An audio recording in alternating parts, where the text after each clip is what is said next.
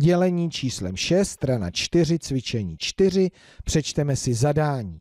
Vypočítejte výsledky příkladů, které mají na místě dělitele číslo 6, vybarvěte žlutě.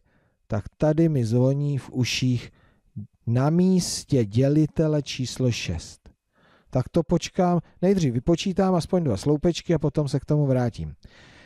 60 děleno 6 rovná se 10, 60 děleno 10 rovná se 6, 12 děleno 6 rovná se 2, 12 děleno 2 rovná se 6. Tak to by byly pár příkladů na začátek, zbytek dopočítáte na místě dělitele číslo 6.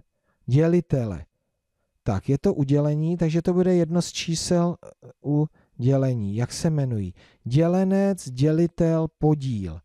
Dělenec, děleno, dělitel rovná se podíl. Na místo dělitele, takže tady je ten dělitel.